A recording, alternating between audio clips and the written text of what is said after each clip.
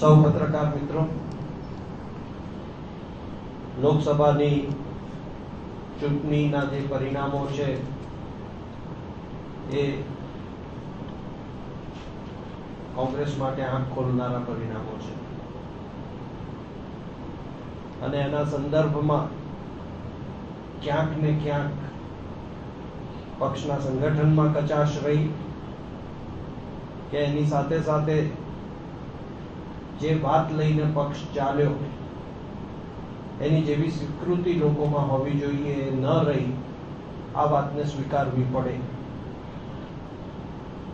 અને એને અનુલક્ષીને આવનારા દિવસોમાં પક્ષ જે પ્રશ્નોનો સામનો કરી રહ્યો છે, એને આઈડેન્ટિફાય કરવા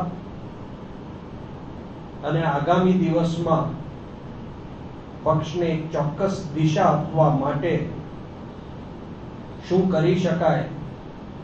એ સંદર્ભમાં સાડા ત્રણસો થી વધારે પક્ષના આગેવાનો આ બે દિવસ દરમિયાન ચર્ચા કરશે. લગભગ તમામ પાસાઓને આવરી લેવામાં આવ્યા છે. અને ચર્ચાને જનરલાઇઝ ચર્ચા ન કરતા વિષય ઉપરની ચર્ચા થાય. એના ઉપર જ આવું વિષય ઉપરની ચર્ચા થાય અને એની સાથે સાથે ભાષણો નહીં, પણ વ્યૂહાત્મક સૂચનો એમાંથી ઉભરીને બહાર આવે એ દ્રષ્ટિએ છ અલગ અલગ જૂથોમાં કાલનો લગભગ પોણો દિવસ અને પરમ દિવસનો આખો દિવસ આ જૂથમાં આ વિષયોની ચર્ચા થશે. એમાં સંગઠનનું માળખું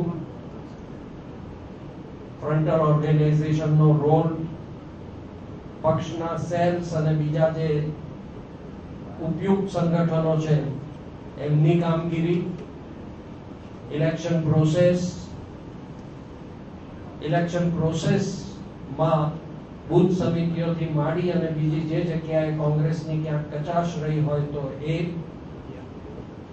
મીડિયા અને એની સાથેનું સંકલન અને સાથોસાથ આવનારા દિવસોમાં કયા કાર્યક્રમોને અને કેવી રીતે એને લઈને આગળ ચાલવું, આ બધી જ બાબતો ઉપર વિસ્તૃત ચર્ચા એ આ બે દિવસો દરમિયાન થવાની છે.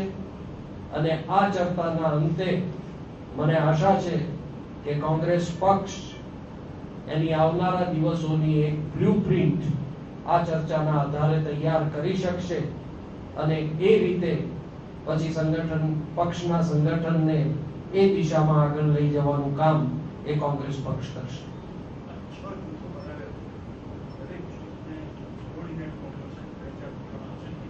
દરેકે દરેકને જૂથને કોઓર્ડિનેટ કરવા માટે પણ સિનિયર વ્યક્તિઓની નિમણૂક કરવામાં આવી છે. એક થી વધારે લોકો છે. એટલે અત્યારે નામ લખાવવાનો મતલબ નથી. આવતીકાલે આપને તેની જાણ થઈ જશે. અને પણ ખૂબ જ ગંભીરતાપૂર્વક આ આખો ખૂબ જ મહત્વનું છે કે કોણ દિશા? આ છ જૂથો છે. દિશા દિશ મારી વાત સાંભળો. દિશા કોઓર્ડિનેટરે આપવાની નથી. કોઓર્ડિનેટરે માત્ર ને માત્ર ચર્ચાનું સંકલન કરવાનું છે.